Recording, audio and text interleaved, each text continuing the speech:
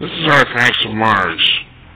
And what you're looking at here, as going out deer hunting, uh, using your vehicles in the background, and right near Route 15A is Springwater.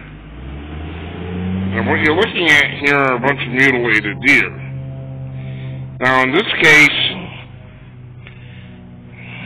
there isn't any question how this happened. Take a look right the center picture. Uh, you can see a uh, twist tie, one of those plastic ties. So this was not done by UFOs or coyotes. It was done by humans. They waste an awful lot of meat. I just can't figure out why. Is this disgusting or what?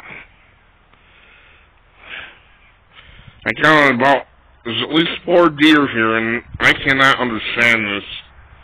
I know what happened, I don't know why. I can't understand why they just waste all this meat. I'm not, I'm not going to touch it because I don't know how long it's been sitting here. This is just flat out shameful.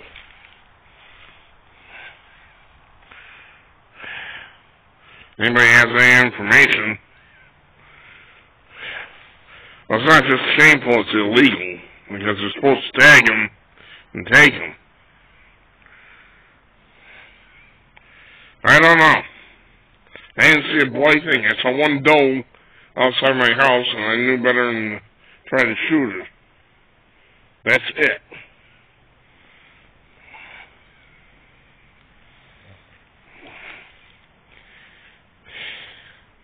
Disgusting that anybody would do this. I don't know why or what the hell. Some of us aren't getting any meat, and then you have jerks like this who, uh,